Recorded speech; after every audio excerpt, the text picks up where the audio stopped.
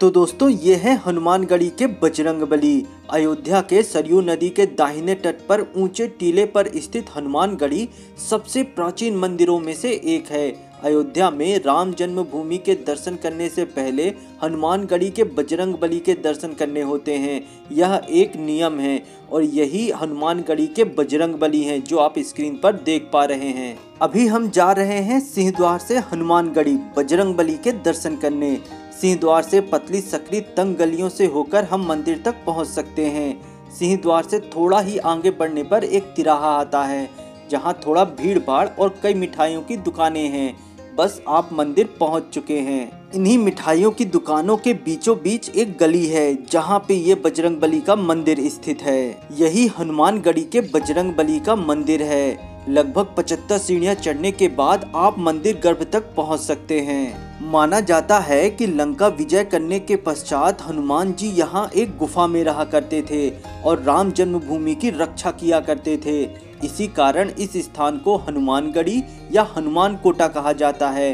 बाद में इसे हनुमान जी का घर भी कहा गया। यह मंदिर चारों तरफ़ से किले की तरह बनाया गया है, जहाँ प्रत्येक कोने पर एक गोलाकार प्राचीर है, जिसमें हनुमान जी का मंदिर है। मंदिर घर में पहुँचने के तीन दरवाजे हैं जो कि चांदी की नक्काशी से अलंकृत हैं। मंदिर गर्भगृह में भगवान राम का नाम लिखी हुई चांदी की तुलसी की माला हनुमान जी को सुशोभित करती है।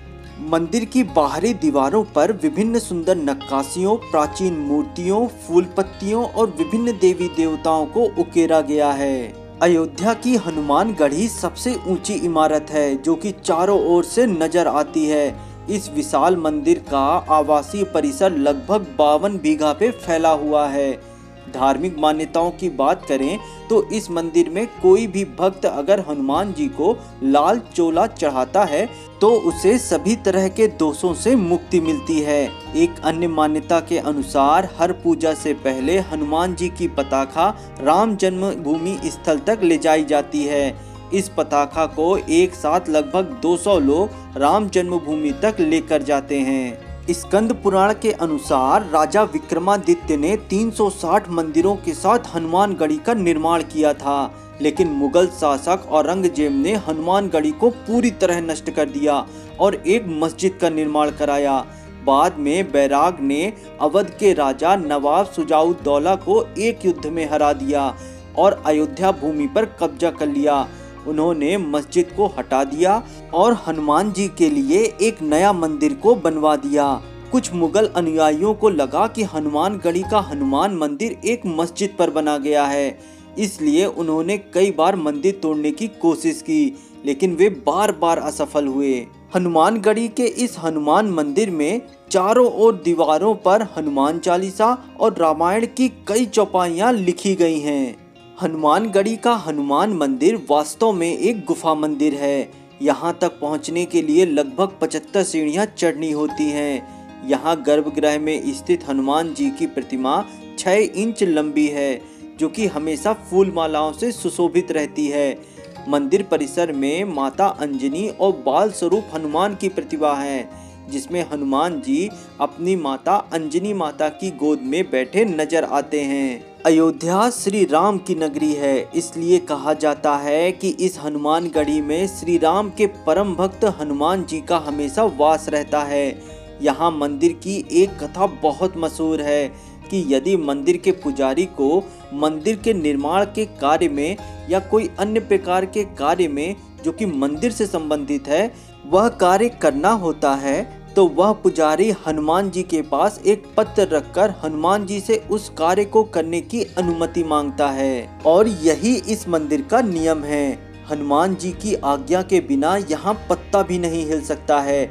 और विश्वास मानिए कि आप मंदिर भी तभी पहुँच पाते हैं, जब आपको बजरंग बली स्वयं दर्शन देना चाहते हैं।